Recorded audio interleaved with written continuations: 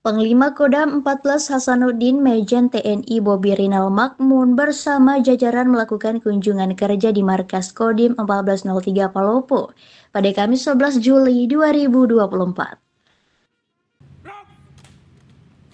Kedatangannya di kota Palopo disambut langsung oleh Dandim 1403 Palopo, Letkol Kabit Bintoro Priyambodo. PJ Wali Kota Palopo Asrul Sani, Kapolres Palopo, AKBP Syafi'i Nafsikin, dan jajaran Forkopimda lainnya. Majen TNI Bobi Rinal Makmun didampingi Ketua Persit Kartika Chandra Kirana Daerah 14 Hasanuddin. Mia Bobi Rinal Makmun disambut dengan tari Pak Dupa, kemudian pengalungan kain dari tentara cilik.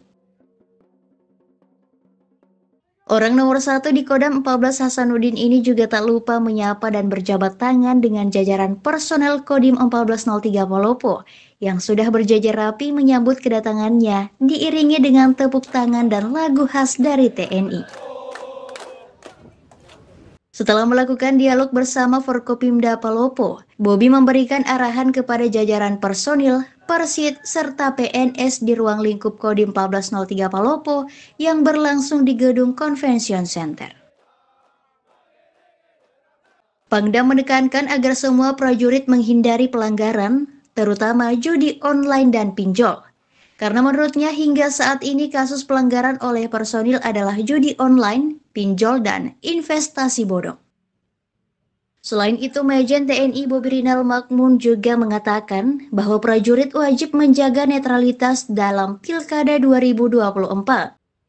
Ia menegaskan bahwa netralitas menjadi harga mati di tubuh TNI.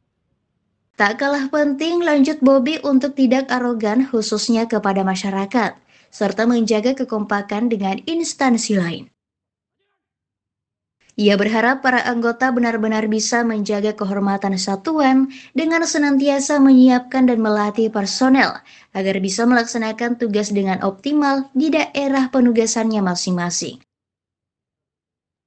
Bobby juga berpesan kepada Persit agar dapat membina keluarga dengan baik dan memberikan pendidikan yang baik kepada anak-anaknya, sehingga dapat tumbuh menjadi generasi yang bermanfaat dan membanggakan bagi keluarga dan negara. Selanjutnya Pangdam beserta rombongan bertolak ke Kabupaten Luwu Timur.